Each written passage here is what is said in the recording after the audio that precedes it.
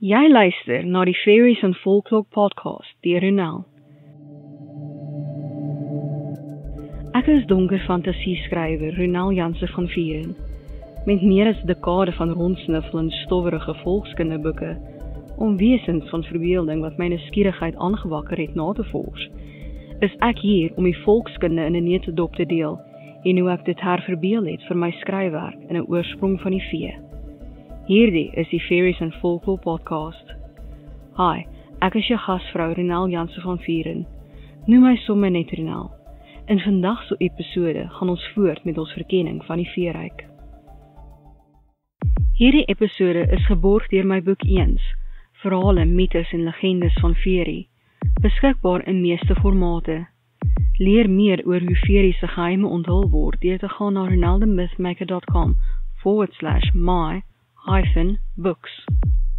Ek kan aan my tyd om die podcast te maak, navorsing skryf, opnames en so meer, morg deur vir my 'n koppie koffie te koop. Dit kan 'n een keer ding wees of jy kan dit weer in die toekoms doen. Gaan na buymeacoffee.com forward slash renal om my te ondersteun.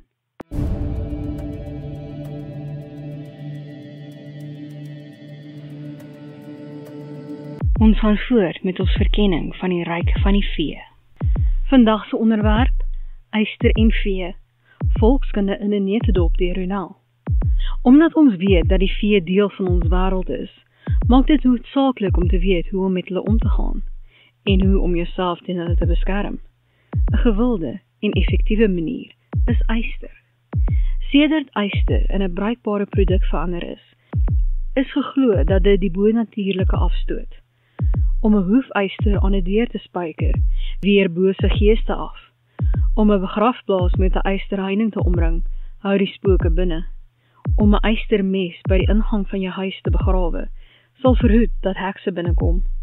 Deur 'n eysterbedraam te gebruik om in te slaap, sal vee wegbly. Eysterskêr wat in die wieg gehou word, sal verhoed dat die vee die baba steel en dit met 'n wisselaar vervang. Koue eyster is 'n poëtiese vorm van eyster en in moderne tye word koue staal in die plek daarvan gebruik. Dit is basies 'n wapen wat uit eyster gesmee is wat bloed kan trek. Eyster is dodelik vir vee en verbrand hulle by kontak. Miskien het eyster natuurlike antimagiese eienskappe, aangesien dit die vervaag van magie en die opmars van industrialisasie simboliseer. Daar moet kennis geneem word dat vee alle bonatuurlike wesens beteken en dat net alle vee deur eyster aangetast word nie, net die meeste.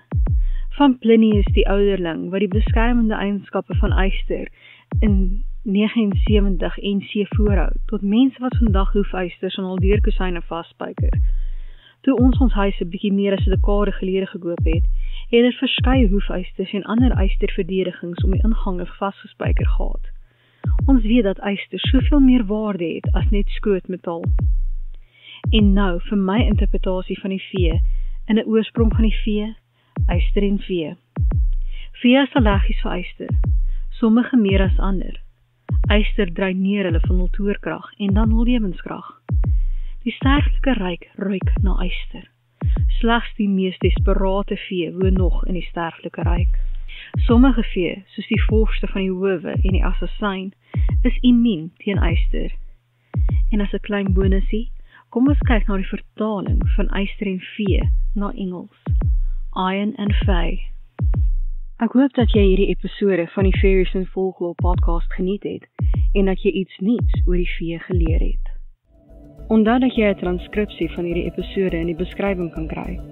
As jy nuut is by die podcast, Hoekom nie na my webtuiste ronaldemistmaker.com gaan en 'n gratis kopie van Ongesiens, die tweede boek in die veeverhaalreeks kry nie?